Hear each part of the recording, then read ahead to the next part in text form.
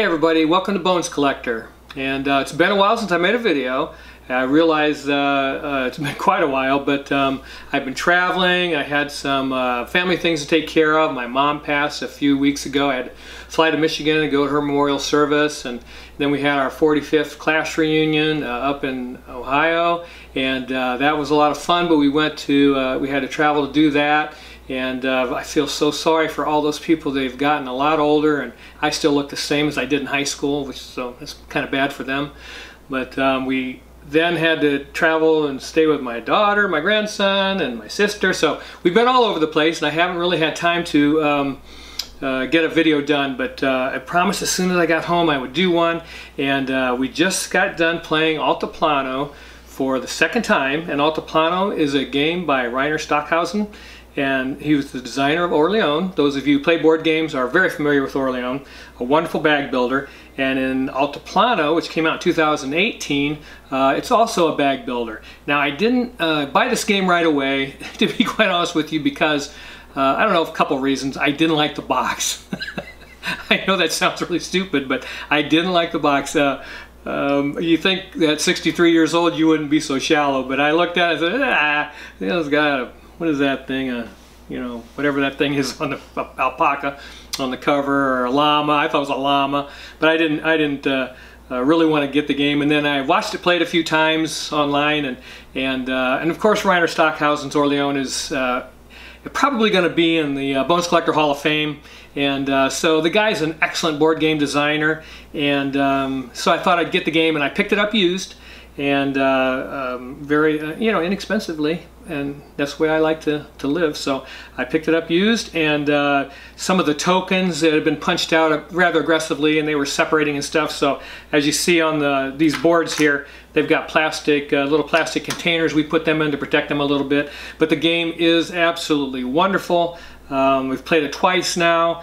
Um, it's an excellent, excellent um, uh, bag building game. Now by bag builder, those for those of you that don't know what that is, you're simply, uh, what do I do with my, you're simply putting, purchasing these to tokens or getting them in, in uh, resource exchange or various ways and, uh, and putting them in this bag and you're going to draw them out and plan uh, your movement and how to use them uh, on these locations out here. Um, so yeah, um, you get to use every one of them too.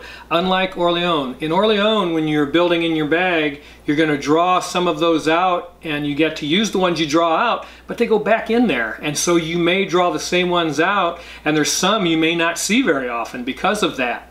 But in this one, he did a little bit different.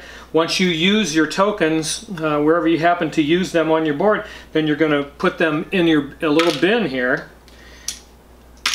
like that after you've used them and then you'll draw more tokens out of your bag place them on your player board and once you use them they go back in here. When the bag's empty these tokens get dumped back into this bag. So eventually you're going to see all your tokens which is very important and it's very unique and different uh, different than Orleans. Is it better than Orleans? I mean I, I don't think so. I, I like it um, a lot, and I like it. Do I like it as much as Orleans?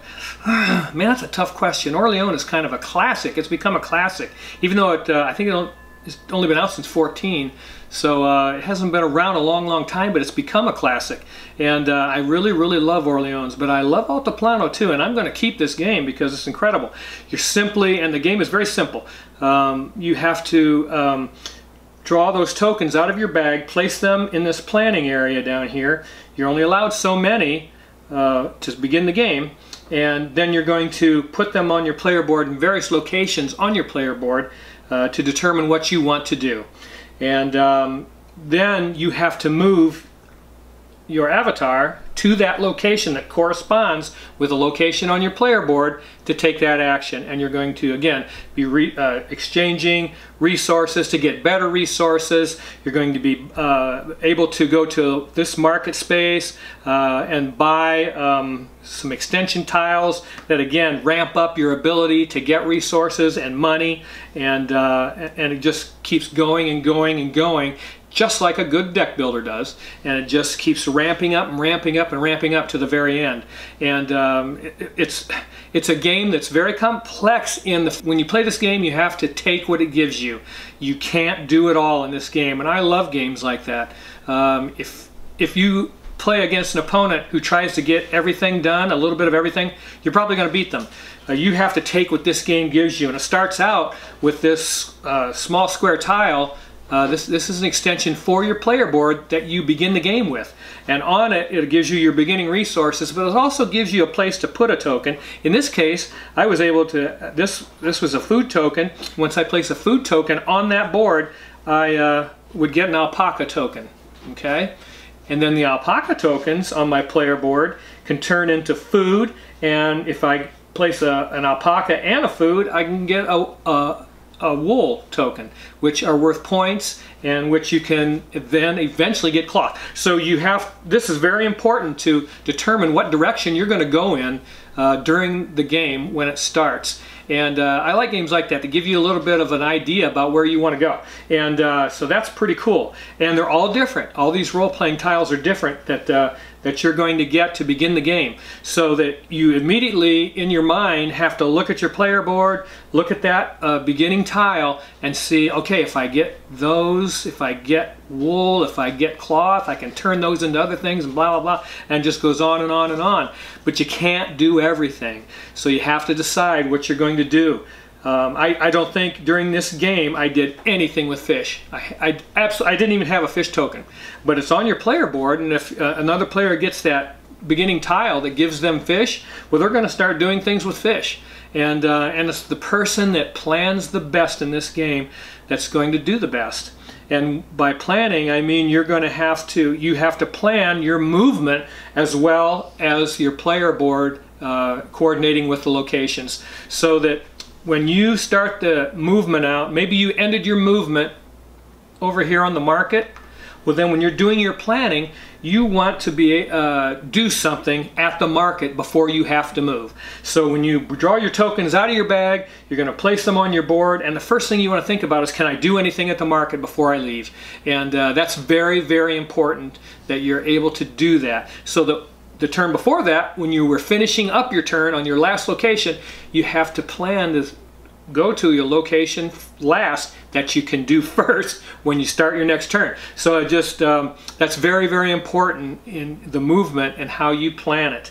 And uh, to move, you have to have carts, and it costs you food to move. So uh, you have to, when you have a cart with food, you can move three. And then you're allowed one movement for food that only moves one space. So in my case, I had two carts and then uh, um, which allowed me to move one to three spaces and then for my last cart I could just put a food on it and move one space so that if I wanted to uh, maybe go to the pat uh, or the road they call it then I want would want maybe to end up here and then with my last one movement I would go there and spend it and then at the beginning of my next turn hopefully I can do that again.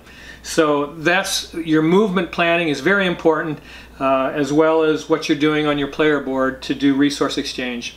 And um, man, it's really, really a great game. You're going, you have a warehouse where you can start storing uh, extra goods as you receive them, and that's a delicate balance too.